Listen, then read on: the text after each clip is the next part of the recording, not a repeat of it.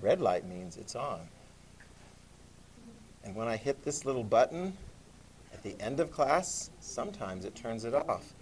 Last period it didn't, so we had all kinds of like interactivity and so forth, which will apparently appear on YouTube. Um, yeah, and the lessons are there, and the three at home are being able to watch those. Okay, quick question. Do you guys want to have a moment of silence?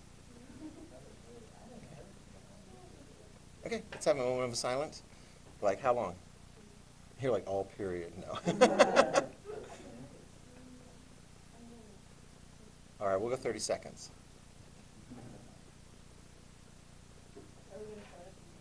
We've already started.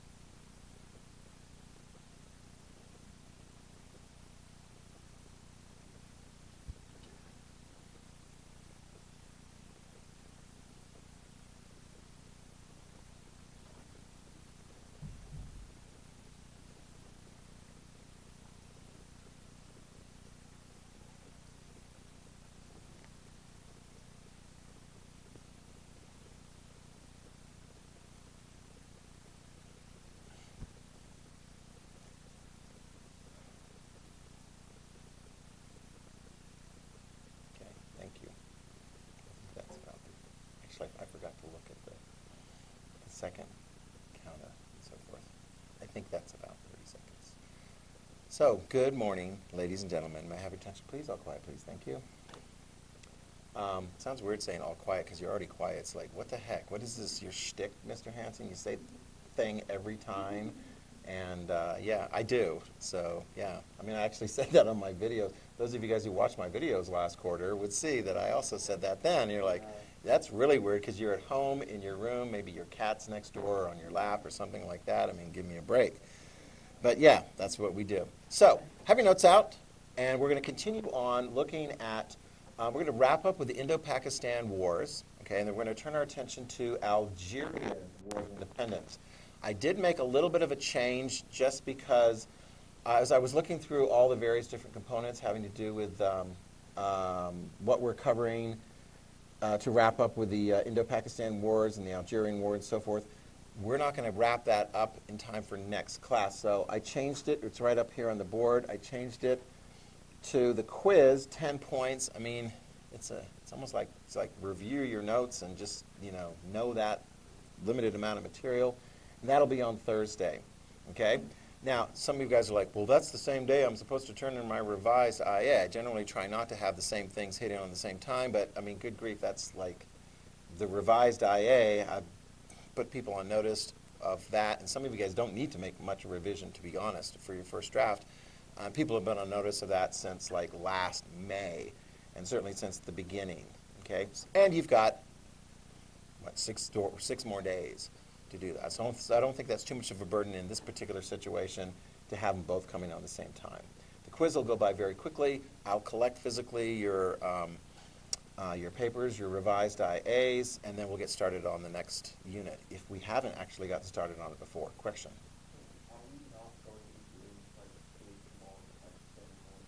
Oh, yeah, we will, in here. hmm Yeah, the next unit, Cold War, part two of three, is going to be a big, long test. Okay? The only reason that, that, um, and the last, last one I did with essays with you guys, like on the first part of the Cold War, because I wasn't going to give you a test, not an essay test um, under the circumstances. So this is just sort of leftover remainder things, beginning of this year.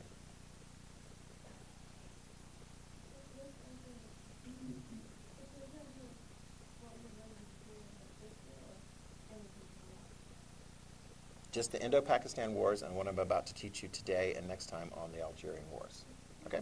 I've also already posted in um, Google Classroom a link to um, it's about 20 25 minute uh, documentary it was done by i want to say like the cia but it's actually it's like whoa you know it's, it's actually pretty informative of and includes documentary stuff and um, various different things um, having to do with the War of Algeria. Okay, so you'll see like Charles de Gaulle and some of the other key participants in the Algerian War of Independence. Okay? All right, so be sure to watch that as well, take 20, 25 minutes and so forth. Um, yeah, questions? I think I did a pretty good job, uh, hopefully, with remedial training as far as like some of the things that I'm looking for with the IA. Didn't actually get to it in my other class, the green one. I'm going to have to do that um, with those guys when I see them on Monday. Um, next week, I see you guys, what, just twice? Yeah, so when you come in on Tuesday, we'll be, I'm sure we'll be wrapping up the Algerian War. If need to, we'll get started on the next thing. And um, yeah, and then we'll have the quiz on Thursday. I'll take your papers on Thursday. Questions? Everything good? Yes, sorry, Mayor. I feel really bad about how that kind of played out. It's okay? Is it okay? It's not okay. Okay. Yeah. The one chair that I got rid of, there was this one chair, I don't know if you guys are familiar with it. I'm like, I'm getting rid of that chair. I got rid of the squeaky table. I mean, that was no problem because that was like annoying. But there was this one chair that my ninth graders like to like hike it up really, really high, uh, hike it up really, really high, and then like move around. I'm like, that is like liability. I'm like, that chair is going. And I put it in like a different part of the building. It came, it made its way back. I'm like, no, I'm getting rid of that.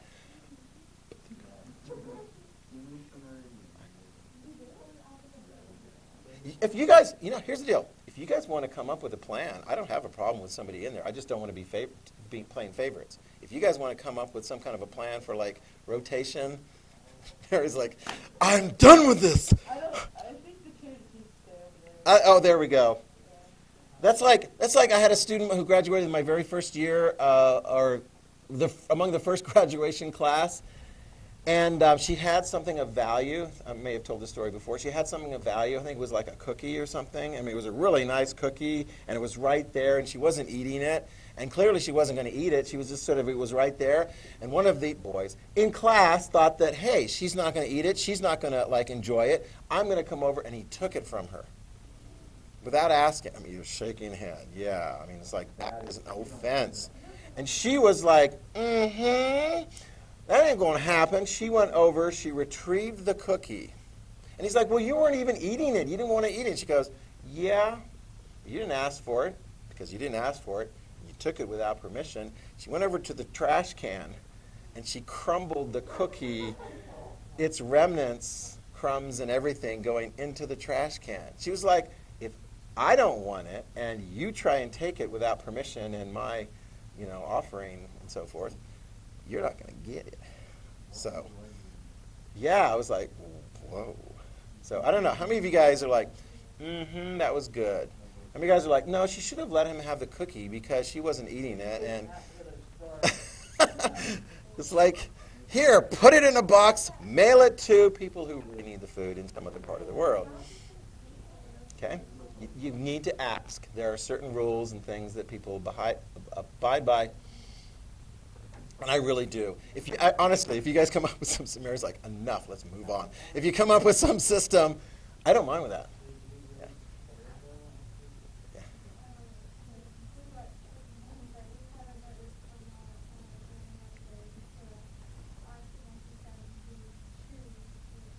Oh.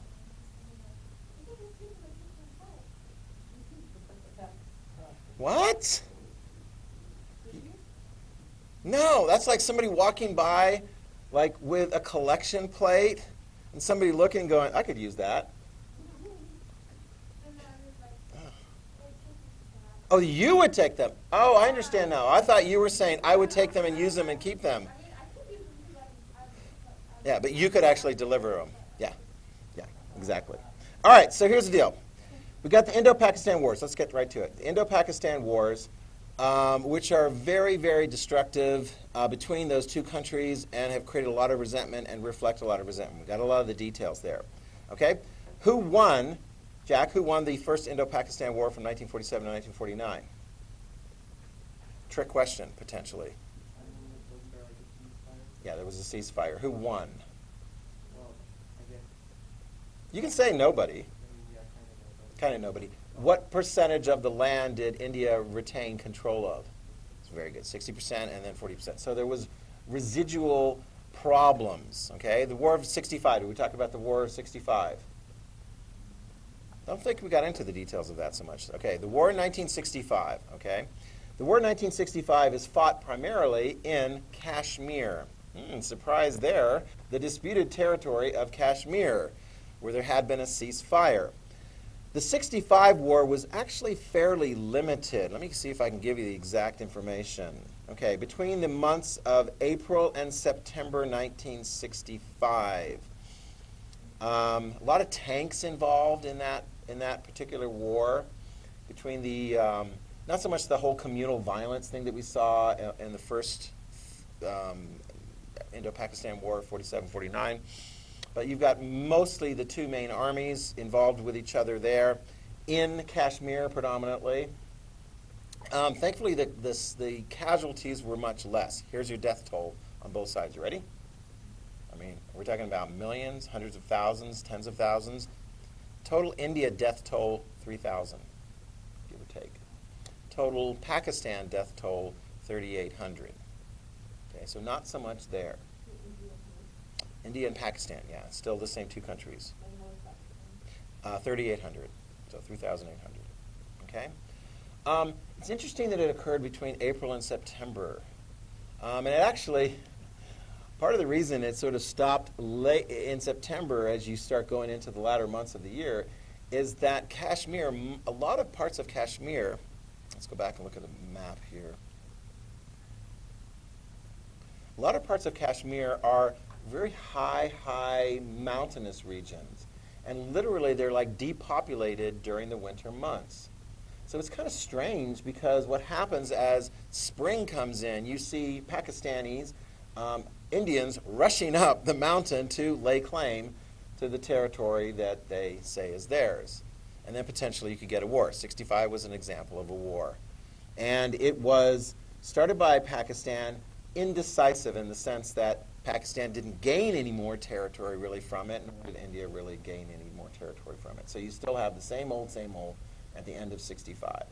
So we see kind of like a nice pattern where things are becoming less dangerous between those two countries. Is that the way it's going to be in 1971? Six years later? No. 1971 is going to see a serious fight between Pakistan and India. Okay? Let me see. I'm going to go to this map right here. Okay? This is the way things were at the beginning of 1971. You had India, right, the large nation there, and then Pakistan included West and East, those two regions. I mentioned to you before that the eastern part of Pakistan, it's got a lot of population, not the majority of the population of Pakistan. Its economy is not so good. And they felt as though, many of the people there felt as though West Pakistan people uh, was dominating. And so they started calling out for independence. Basically, the war in 1971 between India and Pakistan had to do with the independence effort of what would become Bangladesh. Okay? East Pakistan wants to leave Pakistan and call itself Bangladesh. So that's what they do. March 26, 1971, East Pakistan declares itself as independent Bangladesh with the support of India. 1971, March 26, with the support of India. Okay? The fighting breaks out by the end of that year as West, the western part of Pakistan decides, no, we're not going to let this happen. Well, that's problematic. The western part has some loyal troops in that region, but now they're fighting, you know, in a sense, a you know, an insurrection in that region. And India is not helping them at all. India is not allowing for the transference of troops and supplies across their territory over to East Pakistan. If anything, India is helping the Bangladeshis, the East Pakistanis, in their independence effort. You see how that is? I mean, it's kind of like an analogy. British speaking uh, colonials uh, in the French and Indian War fought for the French against the French. Against the French. But what about the French in the American War of Independence? Which side did they take? They took our side. So now we've got India helping out East Pakistan. Yes, Jack? Leave? was basically as though they were feeling as like second-class citizens. They didn't feel like they had good representation um, in the Pakistan government. It was dominated by the folks that were living in West Pakistan. Does that kind of make sense? So they're like, hey, we might as well be our own separate country. And we got India to support us. Okay? That one, um, in one sense, you can go like, well, the fighting was very brief. Um, it occurred over the space predominantly of about 13 days, and yet the fighting in the long course of before the official war, Pakistan invaded India. It was a preemptive attack. Okay? They're like, obviously you're not helping us here, so we're going to invade you, and we're going to put down this independence movement over there in what became Bangladesh. Um, you would think within a relatively short period of time that that's not going to be a problem as far as like casualties. But write this down. We got two to three million civilians killed in the fighting that takes place. So you're back to sort of like a communal war. And in this case, you get a lot of Muslim on Muslim fighting because the Pakistani, those that are loyal to the Pakistani government, are fighting against those that want Bangladeshi independence. And you get a whole bunch of refugees, between 8 to 10 million refugees trying to flee from the fighting, heading in various different directions away from the fighting. I mean, that's where refugees go. Okay? Ultimately, who won? Well, the map kind of tells you who won. Who won? East, yeah. Bangladesh became a separate country. If you were to look over here on my wall, can't really see the names anymore and so forth, but here is the Pakistan flag with the crescent. What the heck is, why do we see crescent moons in so many flags? What is that usually an indication of? Islamic country, yeah. There's the Indian flag, and then there's the red on red circle on green background. That's the Bangladesh flag. Okay? So, at the end of the war, India wins, Bangladesh wins, Pakistan loses. Okay? And is that it? Do they decide that they're going to be peaceful with each other from this point on, India and Pakistan? No, tensions remain. Next key incidents. India develops nuclear weapons by 1974. Okay, so they're looking at developing nuclear weapons. They do. So they can sort of say, hey, Pakistan, if you're going to get into another fight with us, you know, we got the potential of going nuke. Whereas Pakistan is going to try and do what? Get nuclear weapons too. And they ultimately do by 1998. 1998. Pakistan and India will both have nuclear weapons capability. And they don't need the big, huge intercontinental ballistic missile technology in order to hit the other side. Short range and medium range missiles will do quite well if you're trying to hold the other country at bay. And so you can look and see by the uh, map here, both of them fall well within the range of the missiles that they had developed as part of their arsenal. Okay? They don't need to launch over any oceans or anything like that. So, will they go to war again? Interesting question. Has the tension uh, over Kashmir resolved itself? Not really. Okay? And there will be some additional fights, right? It's kind of like we got the official wars on the dates that are listed in your handout, but there are some other tensions. For example, in 1999, there was tension and killing and fighting in Kashmir. Not a full blown war, but sometimes it's sort of like a militia group of uh, Muslims living in the Indian region, Indian controlled part of uh, Kashmir, fighting against the Indian army. That occurred as well in the years uh, 2001 and 2002.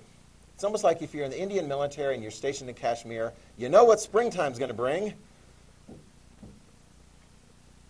The snow will melt, and the militia, the Muslim militias, will move in.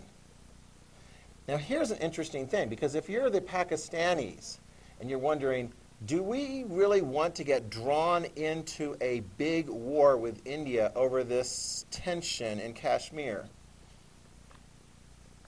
More and more, they're like, "Eh, that would really be problematic. It's like, think about this. You're a parent someday. You got a kid.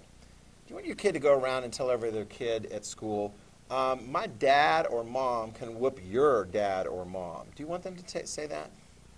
Really? You don't want them to say that? You don't want them to be an agent for you to enter into like conflict with some other uh, parent?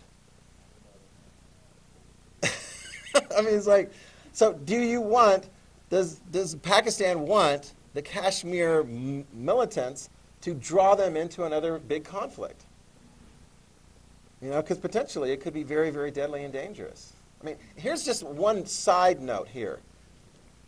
And make sure you put this in your notes. Where does this fit in the Cold War? Is this a Cold War conflict? It occurs during the Cold War, but is there clear involvement directly by the United States or the Soviet Union in the war? Not so much. It's weird because, write this down, India has better relations, certainly in those early years, with the Soviet Union. Which doesn't look right because India is a big democracy.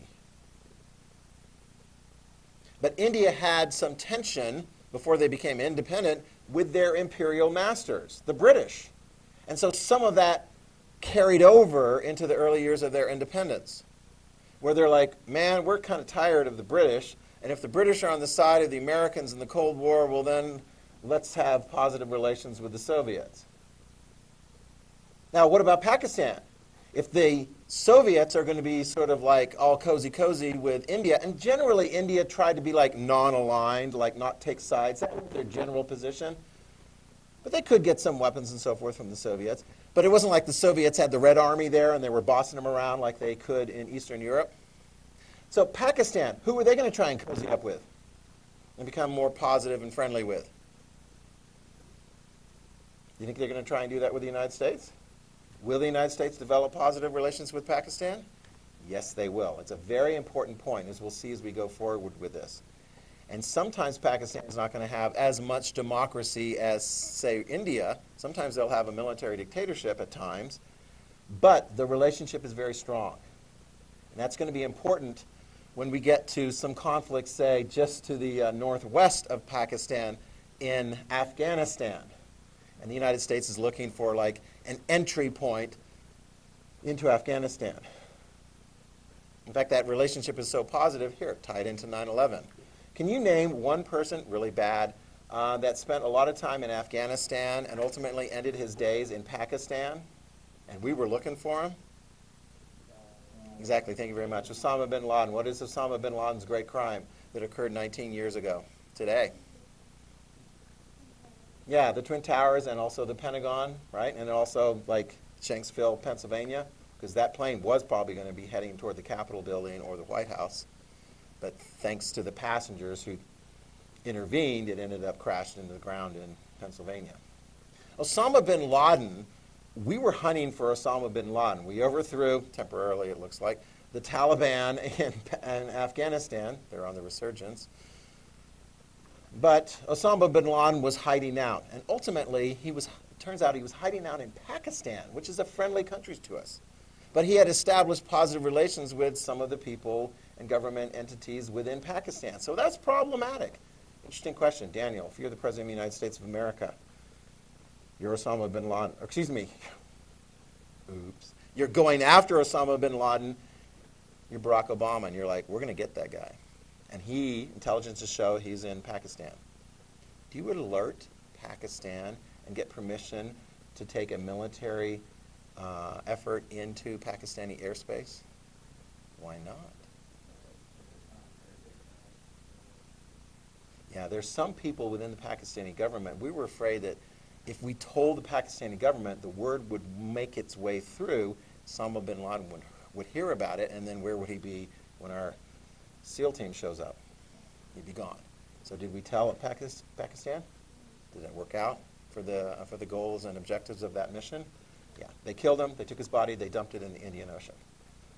There you go. Interesting relationships that we have with countries. And then afterwards, we're like, sorry, Pakistan, you understand, don't you? You know? So things are very interesting and complicated.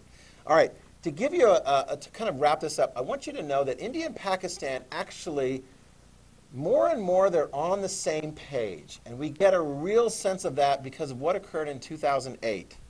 Okay? There was a terrorist attack. It was a really bad terrorist attack in 2008. Um, 164 people were killed, 308 people were wounded. It occurred in Mumbai, India, which is just along the coast here in the uh, Indian Ocean. It's a large city, used to be called Bombay. And what happened was there were some terrorists. These are Muslim extremists who were from Kashmir. They were getting kind of frustrated that the Pakistani government maybe wasn't like, you know, advocating as strongly as maybe they had in the past for Kashmir to be entirely or more so Muslim. So they took matters into their own hands. They staged a terror attack on November 26, 2008. There were 10 Pakistani militants with a lot of experience in fighting in Kashmir. And they decided to do a terror attack against like hotels and public transportation facilities. They went after this one hotel that was frequented by a lot of like outsiders and so forth. So they went in there. I mean, ultimately, I think all but one of them ended up dead. There were 12 targets of this violence. Interesting question. Pakistan was not okay with that. They didn't authorize it. It was not part of the Pakistani government, and they basically came along afterwards and said that's like not okay. Obviously, India was looking around going, is this an assault against us that we need to attack Pakistan? India's response? No. Okay? You understand that? Yes. India. Yes, Mumbai is in India. Dubai is in the United Arab Emirates, the Persian Gulf. Any others? That's like, I knew that one. Yeah, it's like. Um, so, curiously enough, things are better. I mean, both countries have like a great affinity from the time that they were part of the British Empire for the sport of cricket. Yeah, I mean, they, and, and, they, and they can actually have like cricket matches between the excellent teams from Pakistan and India, and very, very competitive in other parts of the world that were not part of the British Empire, like cricket, whatever, you know. So, things are better. Although I will give you an update. I did see recently that there was some fighting on some disputed border regions uh, between Indian troops and not Pakistani troops, but Chinese troops. They literally like, involved like rocks being thrown down upon troops of the other side. I think it was the Chinese that were throwing them down on the Indians, and that created some concerns. If you look at the map here, there's some areas where India and China, I mean, high up mountainous areas where there's a bit of a border dispute, and you're like, why? Who cares? It's a mountainous area. It's not like people are living there. Kashmir is interesting because, yeah, India has claims on it, Pakistan has claims on it, and China has claims on parts. Pakistan's given up on some of the claims for some of that territory that, that China occupies, but India and China still have a dispute. And it's gotten violent there within the last couple of months. The Indians blame the Chinese at stirring up the violence. But anyway, just as sort of a tie in to where things are. Okay?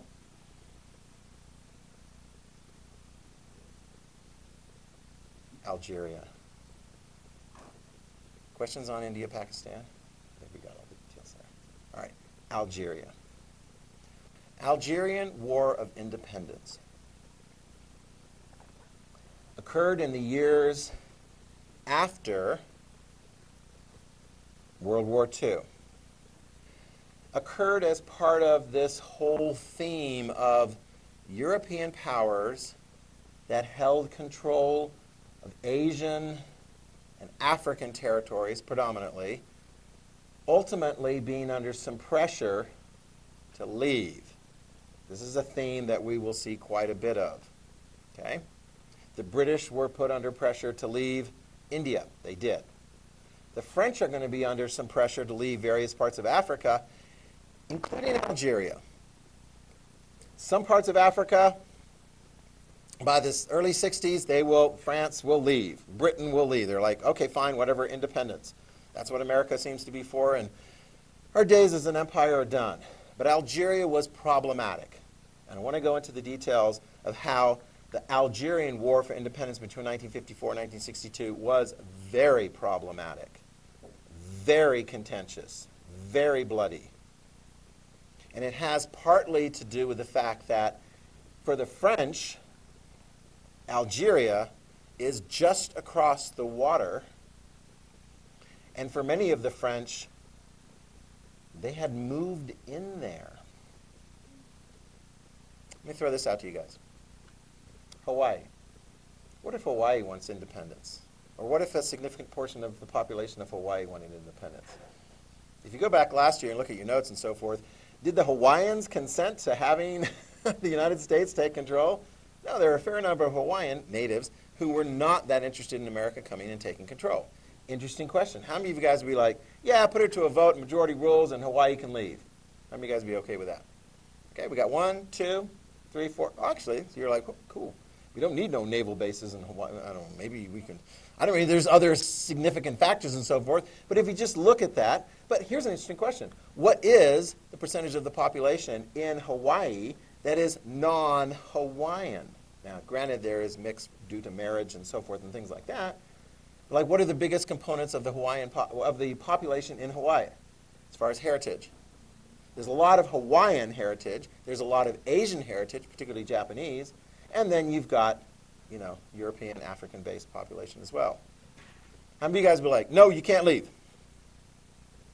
Interesting. This will be interesting to see how that plays out. Yeah. Perhaps among young people are like, hey, if they want to go. That was the question in France. You ready? Write this down. About 10% of the population in Algeria was French. Now, is 10% enough for France to say, mm, we're going to keep it? And of course, the question is asked at various different points in time because if the answer is from the French government is we're going to keep it, and the vast majority of the, of the Algerian non-French people say, no, we're going to fight for it and we're going to keep this fight going, eventually then maybe some French might say, all right, fine, we're going to leave. By the way, write that down. When it's all said and done, the French government says, fine, we're going to leave. And since France is a democracy, they put it to a vote. And what does the vast majority of the French people by 1962 say? Yeah, we're going to leave. That's not necessarily how it started out.